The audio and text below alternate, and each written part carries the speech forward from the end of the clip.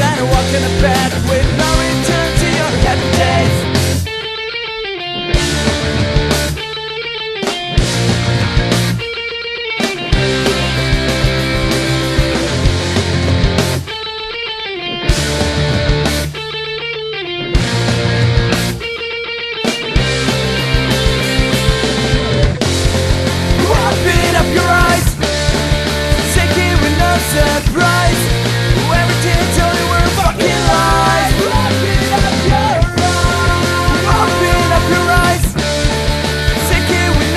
up